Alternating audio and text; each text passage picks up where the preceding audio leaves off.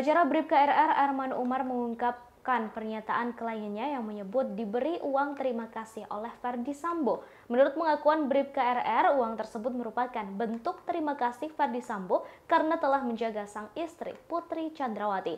Meski begitu, uang terima kasih itu diberikan pasca penembakan Brigadir J. Pernyataan Bribka RR itu tertuang dalam berita acara pemeriksaan atau BAP. Erman juga menegaskan uang itu diberikan setelah kejadian penembakan Brigadir J. Hal itu disampaikan oleh Erman di lobi Bares Krim Polri Jakarta pada Kamis 8 September 2022. Meski begitu, Bribka RR tak merinci jumlah uang terima kasih yang diberikan oleh Ferdi Sambo. Terkait pemberian uang itu langsung dibantah oleh pengacara Ferdi Sambo, Arman Hanis. Bantahan Ferdi Sambo juga didukung pemeriksaan konfrontir kepada seluruh tersangka yang sudah dilakukan beberapa waktu lalu. Pihaknya menambahkan hingga kini tidak ada bukti yang menyebut terdapat pemberian uang oleh Ferdi Sambo.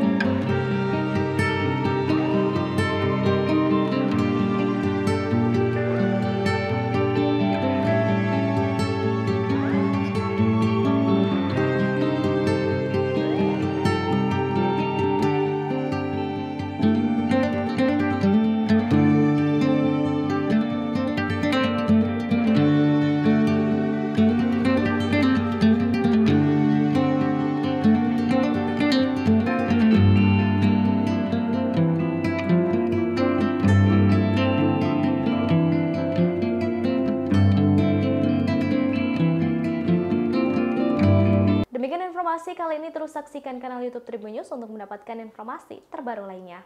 Terima kasih sudah nonton. Jangan lupa like, subscribe, dan share ya.